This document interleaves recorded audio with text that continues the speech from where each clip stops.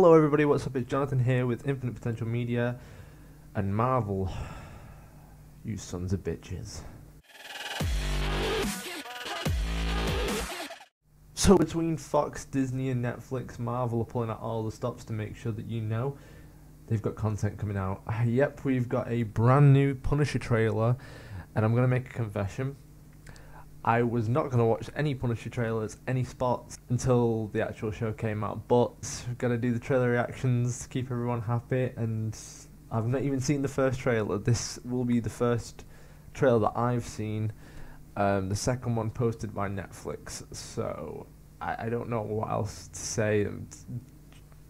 He's great in every Daredevil episode he was in. When he had that four minute monologue at the goddamn graveyard, if if you didn't believe he was the Punisher, then then there's, there's no winning you over. So just, just go. But yeah, we're just gonna watch this trailer now. Just I don't know what to expect because I've been keeping away from everything Punisher related. Let's just do this. Oh. Gentlemen, I'm the only authority you will need. I point, you shoot. Did you kill the target? What did you see? Thought. Frank. Things over there were different. What we were doing was wrong. You did what you were supposed to do, right? Now the only person you're punishing is yourself. Frank Castle? I got something I need to show you. I saw the video files. The U.S. military turned you into a hitman, Frank. I'm looking for Frank Castle. The Punisher. I think you know about my case. Castle's the last witness. We can either clean this up or let him take us down. Oh. They Oh killed no. my family to get to me.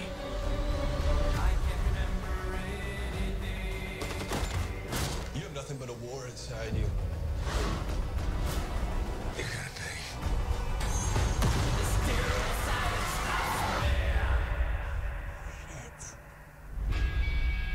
Don't fuck with Frank.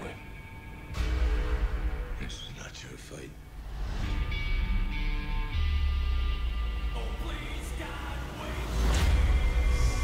Oh, there it is.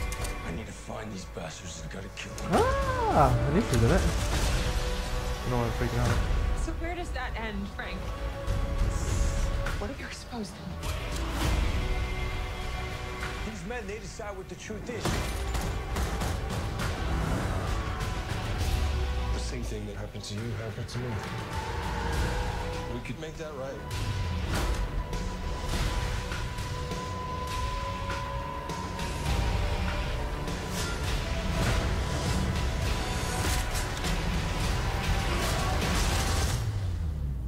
The world needs to see the truth. We're gonna get a release date. Come on, release date. November. No, fuck you. November. No way. Less than a month. What the hell? Now that is how you do a trailer.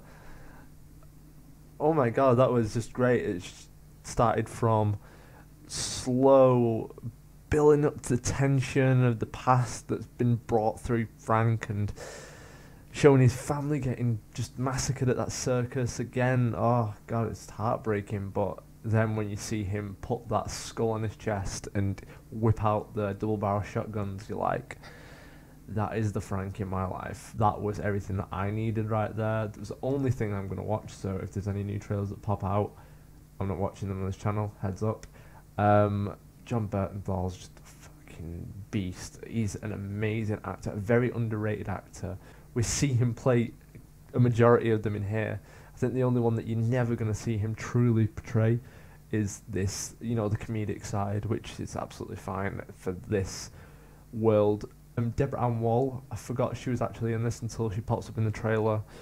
Absolutely amazing actress. Loved her when she came into True Blood. Excuse me.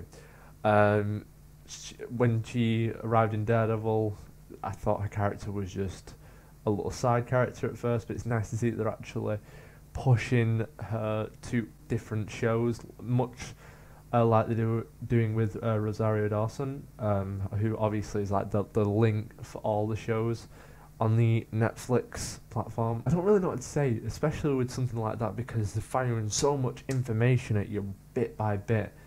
Um, and then right at the end with the, the release date being literally less than a month away. What the hell? Um, yeah, absolutely awesome. It's nice to see that they're actually investing time in some anti-heroes as opposed to the defenders. Um, not that I've got anything wrong with the defenders, but it's nice to see some differentiation within Netflix. So yeah, let me know what you guys think down below, um, and don't forget to subscribe for more content.